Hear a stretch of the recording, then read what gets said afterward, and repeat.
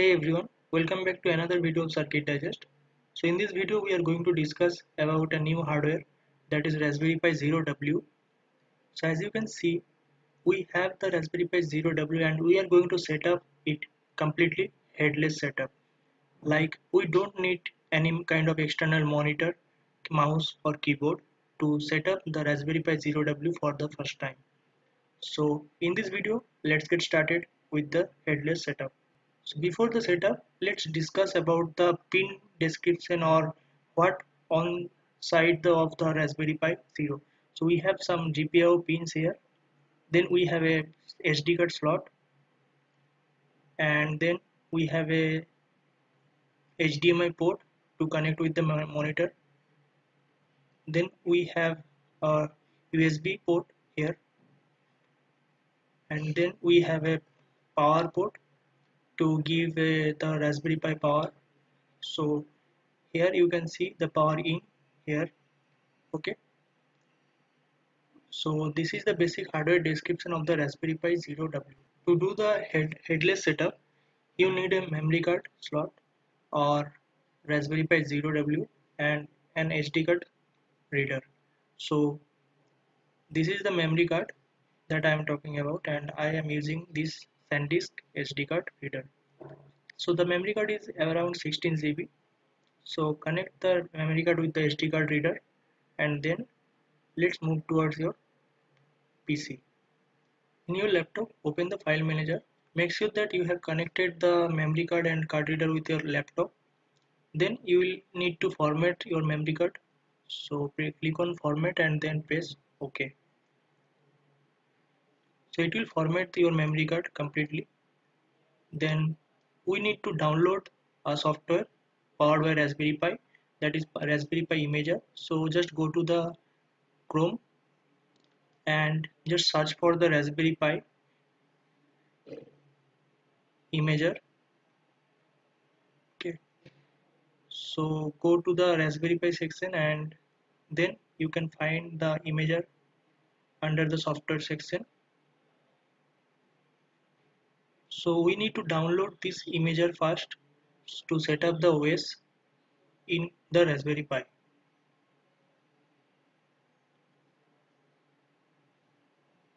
So just download this by clicking on the download for Windows.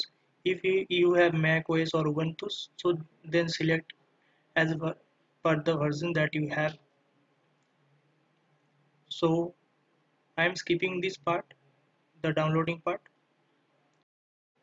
when you have installed your pi imager so just search for the raspberry pi imager and click on the raspberry pi imager. So it will open a new window just like this. So here you need to select your SD card that you have previously formatted. So at first select the OS that you need to uh, Im image on the SD card. So I am selecting the Raspberry Pi OS that is Raspbian then select the SD card. So I am selecting this. And then click on the right. Then click on yes. So it is writing the Raspberry Raspbian OS on the SD card. So it will take some time. It's near around 10 to 15 minutes. So I am skipping this video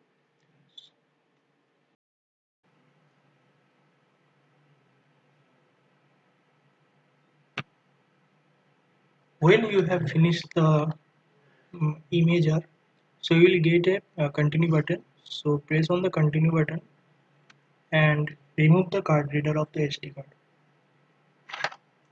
So now we have the uh, OS on our SD card. Now we need to set our Wi-Fi SSID and password on the SD card. So to do that you need to open your uh, file manager and you need to connect your SD card again. So I am connecting my SD card. So when you connect your SD card it will uh, show you like this. Just open this up. And here you need to create two files one is an SSH and second one is Wi-Fi configuration file. So to do that you need a some code like this uh, let me open it. So you need to copy this uh, for lines into a new file and you need to name that file uh, wpa underscore supplicant.conf so let me create a new file on, on in the boot up file here here. So I'm creating this and naming this as WPA underscore. Uh, like we have here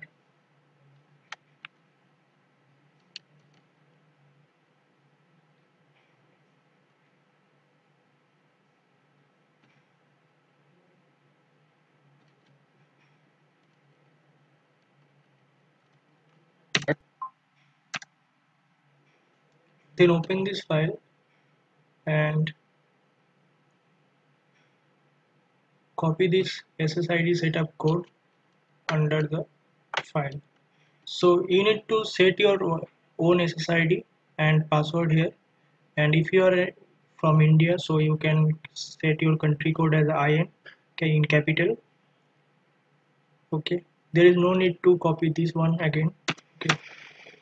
You need to copy this thing only. So I'm copying this and I will paste this uh, paste this here uh, in the wpa supplicant.conf file. And I'm going to save this file. And then we need to create another file named as ssh so to save this I'm creating a new file as a text document. And naming this as sh without any extension and then press enter. Okay? So yeah now uh, your Wi-Fi SSID and passwords is setting set it up. Now uh, you can remove the SD card from your laptop. So I'm removing this one. Now let's move towards our Raspberry Pi Zero so I am connecting my SD card to the zero.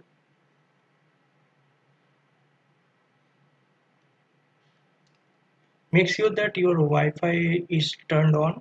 So I am using my laptop hotspot.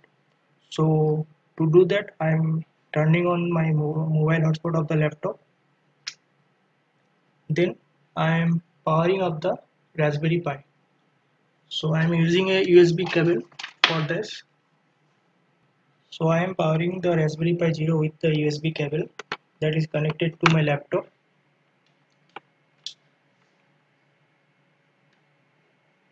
Before powering the Raspberry Pi, make sure that your Wi-Fi is turned on.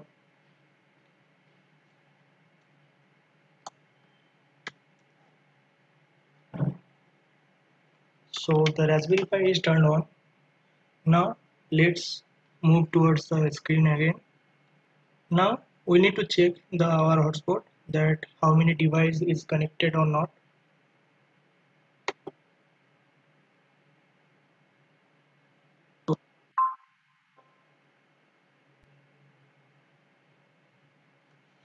It will take some time to connect with the hotspot so keep waiting. So in the hotspot section of your laptop you can see that our Raspberry Pi has been connected and make sure to copy this IP address. So the, in our case 192.168.137.74 is the IP address of the Raspberry Pi Zero. So now move towards the VNC viewer or you can use MobaXterm to get connected with the Raspberry Pi. So I am using VNC viewer or I am using MobaXterm right now. MobaXterm is good software to connect your Raspberry Pi. It will provide a code coding section also so in the install the MobaXterm from the you can search on the Google for MobaXterm or if you have any problem so you can discuss with the forums how to install the MobaXterm so when you install the MobaXterm you can see this section. In my case I have lots of IP addresses of pies but in your case this section will be empty.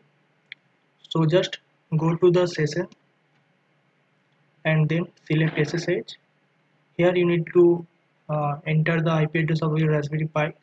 That is in in our case it is 192.168.137 uh, let me yeah. So select the SSH and that is 192.168.137.74 and select the port as 22 then press ok. Uh, then we need to provide the login password. So most of the cases we have the default password as pi okay? And the password is raspberry so when you enter the username and password so you can see that our raspberry pi has been connected successfully. So using the MobaXterm you can just easily drag and drop the coding files or any kind of files here from your laptop. So I do this method because it is easy for me.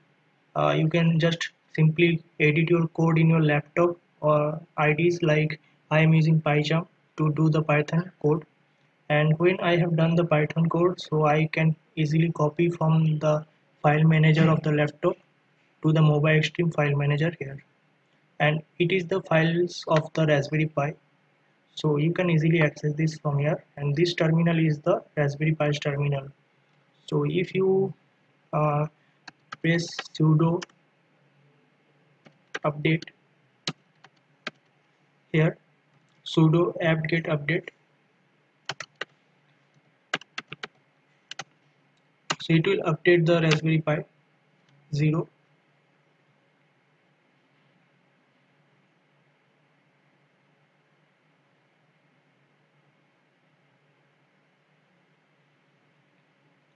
it will take some time for the first time update.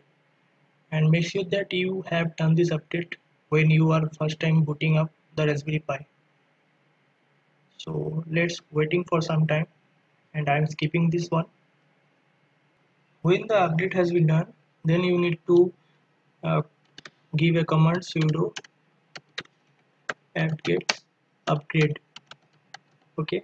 So this time it will upgrade your uh, latest softwares or versions. It will take uh, one to two seconds. Okay? Press yes for y. Okay? Then just wait for some time I am skipping this part.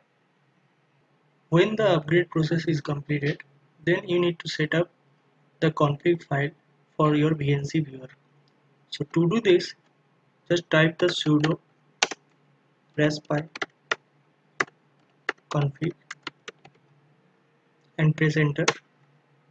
It will open the configuration software tool of in your raspberry pi. So then you need to uh, go to the interface options. Then you need to select VNC and then you, you need to enable this. And then press enter to ok. And then you need to click on finish.